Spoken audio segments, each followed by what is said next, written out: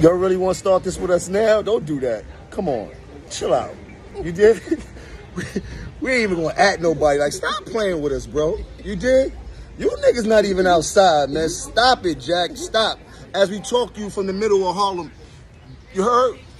It's crazy. This shit, this shit we do ain't for, Ain't for you, Holmes. it's not. We activate. Cool out. We really active out here. We really like that. You, I you understand did? niggas need that life raft. Though. I know. They- I understand you getting interviews and all that right now. You need some more jury before you even talk to us first. You heard? You need at least an M in jury before you even start. Get at least 250 in jury before you start playing with us. Hey! Said Joseph mad loud, pull out my government. Where my goddaughter at? She upstairs. Tell her come downstairs. I want to see her. She mad big probably. But back back to us. See? We too lit, Good. too much drip. I know. The bars is extraordinary. Too many hits. You heard? We ain't gonna play with y'all. This this ain't that. You heard?